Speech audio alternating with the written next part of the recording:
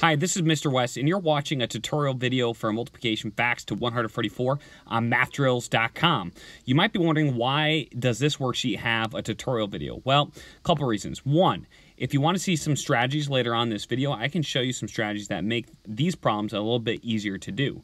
Number two, I wanted to let you know that if you're just coming here to print off some multiplication facts, mathdrills.com has tons of other great resources, including games, online interactive uh, worksheets, and tons more, including uh, coordinate plane worksheets, which are really awesome. So don't just think of this as uh, multiplication facts website. It's got tons more. And number three, I have a playlist for math drills specific videos that I have on my channel, so make sure to check it out at the end of this video.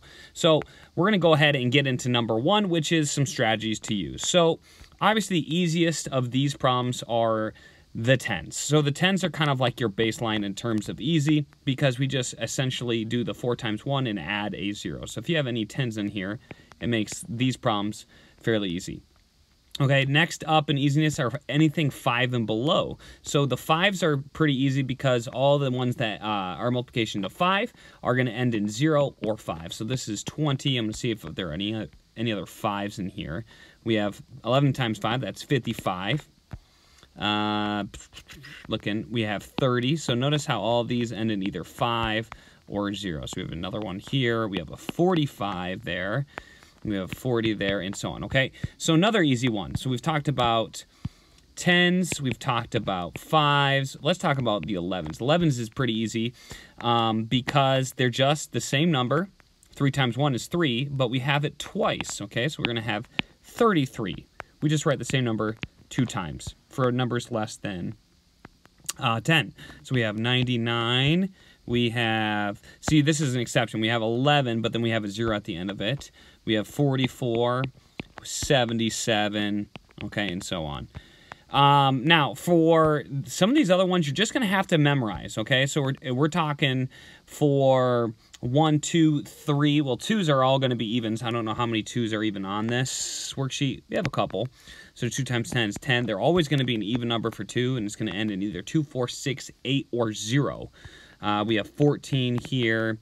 Double the number, essentially, is what you're doing with the 2s. You're doubling whatever number that is being multiplied by, okay? Um, threes, fours, uh, sixes.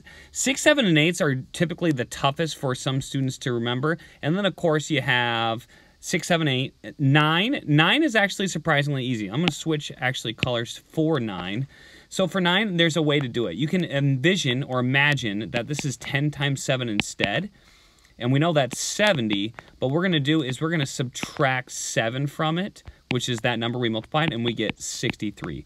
There's also a way we can do it on your hands, but since you can't see my hands, uh, you're just going to have to maybe look it up, but there's a great way to do it, or even ask your math teacher. There's a way to multiply on your hands that's a really simple process, okay? So there's another 9. 9 times 2, again, uh, 10 times 2 would be 20, then we subtract 2, and it's 18. See how that works? And then see if there's any other ones. Okay, so 10 times 5 is 50. Subtract 5, and that's 45. So that's how that one works. Um, it does not work for 12s, though, okay? It's all for numbers below 10. And honestly, the 12s are the toughest. Apart from 6, 7, and 8, you're going to have to just memorize the 12s.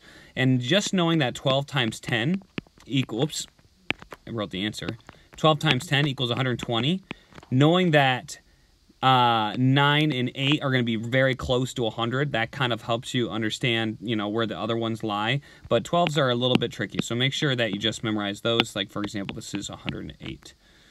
Um, again, 45 for this one. We already did that one. Here we go. So 10 times 9 is 90. Subtract 9 is going to be 81. And then, yeah, so the rest of these are just, you, you, you need to memorize them, okay? And if you are in uh, fourth grade especially, I know you have access to calc calculators, etc., but if you learn these by fourth grade, a lot of studies show that you're going to be far better off than if you didn't, okay? So really make sure, if you are in fourth grade or under, make sure you memorize some of these, okay? Because these this is very important. If you're in sixth grade or fifth grade or something beyond, it's okay if you don't know them yet okay? But you really kind of got to put a renewed effort into understanding these, okay? And even though we have access to calculators, it's still an important skill that is really brought forth when you get to high school level mathematics. So just like a word of caution for those that don't know these yet, it's very worthwhile to practice. And I'm glad this worksheet's on mathdrills.com. Make sure to check out the link in the description below. Again, I have a playlist in the description below, and also you can click on one of these cards at the end here. Looking forward to seeing you next time right here Um, on West Explains Best.